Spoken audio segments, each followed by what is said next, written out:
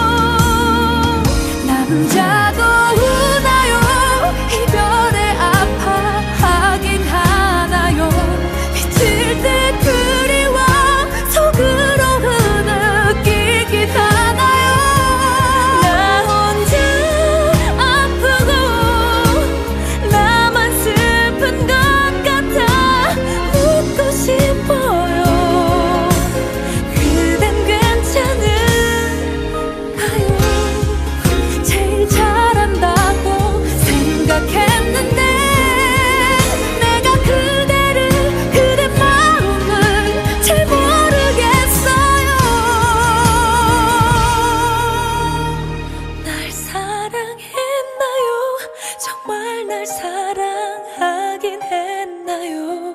마지막까지도 그대 입에서 듣지 못